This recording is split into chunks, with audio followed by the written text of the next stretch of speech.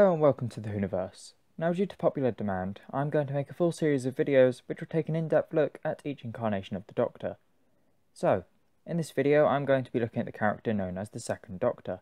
This video will feature a look at the character's identity and personality, as well as a brief history or timeline of events, and a look at the friends and foes he's encountered, all to answer the question, who is the Second Doctor?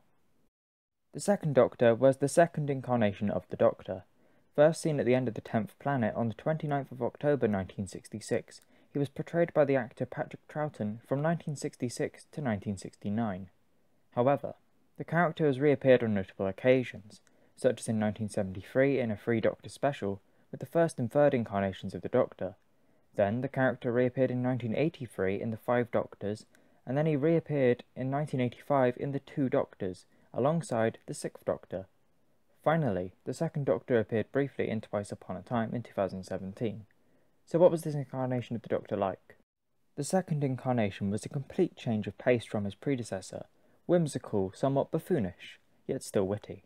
He was no longer a grandfather figure, but rather more of a favourite uncle. Indeed, the slow transition of the first incarnation from a reluctant travelling companion to a more kind carer was completed here, as the second incarnation very much enjoyed embroiling himself in the adventure with his friends. He also had a warmer, and gentler way about him than his previous incarnation. Childish, clever, and always a few steps ahead of his enemies. At times he could be calculating and scheming, who would not only manipulate people for the greater good, but act like a bumbling fool in order to have others underestimate his true abilities. Although he frequently gave the impression that he never knew what he was doing, this was simply an act put on to fool those who would underestimate him.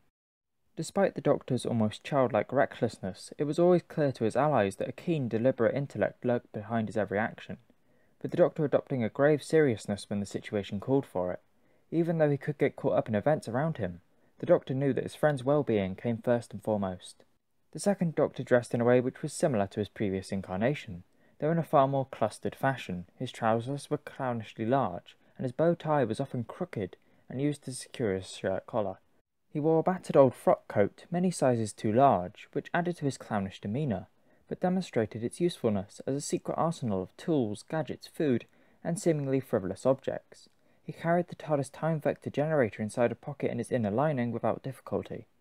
The Doctor often kept a plain handkerchief in the coat's top pocket, and under his frock coat he wore a plain shirt with a blue polka dot bow tie. When in colder environments, the Doctor would wear a cloak or an oversized fur coat. He also expressed a liking for hats, stating that he would like a hat like that when he spotted new headgear. Now, the second Doctor travelled through space and time in the same TARDIS all his future incarnations pilot, only like him the TARDIS changes and renews itself. However, at this stage in the Doctor's life, no major changes had been made to the TARDIS interior, since his first incarnation, with the console room remaining the same, spare a few small changes. Now the exterior did still look very similar to the first Doctor's TARDIS, though it was slightly smaller and now painted in a slightly lighter blue. Also, on one occasion, the pull to open sign was placed on the wrong side and remained wrong for numerous serials before changes were made to put the mistake right. When the mistake was put right, the keyhole was moved onto the right door and another handle was added to the exterior doors. The St. John ambulance sign was also removed late in the first Doctor's era, with this change carrying over to the second Doctor's TARDIS. Now, the second Doctor met many faces and had many great adventures, so here is a brief timeline of the Second Doctor's adventures. This timeline is just a quick overview of the Second Doctor's era, so not all his travels will be featured to avoid spoiling them for anyone who wants to watch them. However, the timeline does feature the companion's exits and circumstances of those exits.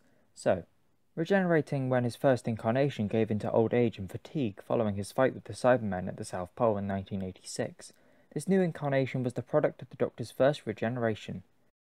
After the regeneration, which he referred to as renewal, was completed, the new Doctor found himself suspected as an impostor by his friend Ben Jackson. This being due to the Doctor failing to inform his companions of the Time Lord's ability to regenerate, while Polly was more ready to believe that he was the same Doctor. Before he had time to recover, the TARDIS landed on Vulcan. The Doctor tried to stop a colony's scientist from reactivating three captured Daleks, but failed. These Daleks revealed they were using the colony to make new Daleks and within minutes thousands of Daleks attacked. The Doctor and his companions remained to fight alongside the colonists, with the Doctor destroying his foes by using their power against them. The Doctor, Polly and Ben then left Vulcan. Arriving in Scotland after the Battle of Culloden in 1746, the Doctor, Ben and Polly met young Highlander Jamie McCrimmon. After exposing slave trader Solicitor Grey, they invited him to come with them in the TARDIS, which he accepted.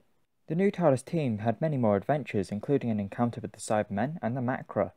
Following these events, the Doctor and his friends met and defeated the Chameleons at Gatwick Airport on the 20th of July 1966. After realizing they had arrived home on the same day they had originally left, Ben and Polly decided to end their travels with the Doctor and remain on Earth in 1966. Then the TARDIS was stolen by the Daleks. The Doctor and Jamie found a time corridor and were transported back to the 2nd of June 1866, where they found two 19th century human scientists, Edward Waterfield and Theodore Maxtible, trying to isolate the human factor. Jamie and the Doctor befriended Waterfield's daughter, Victoria.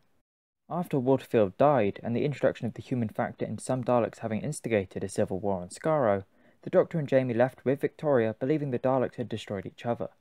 After adventures where the Doctor, Jamie, and Victoria encountered more Cybermen, Ice Warriors, and more deadly dangers, the Doctor had a second battle with the Great Intelligence, where the Doctor made the acquaintance of Alistair Gordon Lethbridge Stewart, who would later become known as the Brigadier. After this, the Doctor, Jamie, and Victoria defeated a weird creature, and Victoria chose to stay with her family in this time rather than continue her travels, despite the fact that Jamie, who had feelings for her, tried to persuade her to stay. The second Doctor and Jamie then encountered Sontarans and the sixth incarnation of the Doctor, and later the Doctor and Jamie arrive on a space station where the Cybermen attempted to invade. Zoe Heriot, who was on board the ship, helped the Doctor and Jamie defeat the Cybermen. When the Doctor returned to the TARDIS, he found Zoe hiding on board. She wanted to join him and Jamie on their travels, so he decides to give her a taste of what it might be like by using a thought scanner to show her one of his past adventures. Zoe still decides she wants to travel with the Doctor and Jamie, and they set off for a new adventure. During these adventures around this time, the second Doctor was time scooped to his TARDIS in the future, where he reunited with the Brigadier. He also encountered Jo Grant, a future travelling companion, and met his third incarnation. The two Doctors, despite their differences, successfully thwarted Omega's escape. After this, the Doctor said his farewells to his future self and was returned to the rightful place. The second Doctor had a few more adventures with Jamie and Zoe, until the Doctor and his companions landed on a planet where the warlords planned to use human soldiers as an army to conquer the galaxy, by picking them out of various periods of Earth history, with the war chief's space-time vessel technology. The Doctor, Jamie and Zoe helped unite the various resistant movements on the planet to fight the warlords. Unable to return all the kidnapped soldiers to the correct places in time and space, the Doctor called the Time Lords for help, thereby revealing his location to them. The Doctor, Jamie, and Zoe tried to slip away before the Time Lords arrived, but the Time Lords started interfering with the TARDIS operation and demanded the Doctor hand himself over. They continued their attempts to flee the Time Lords, but were inevitably caught and brought to the Time Lords' home planet, Gallifrey.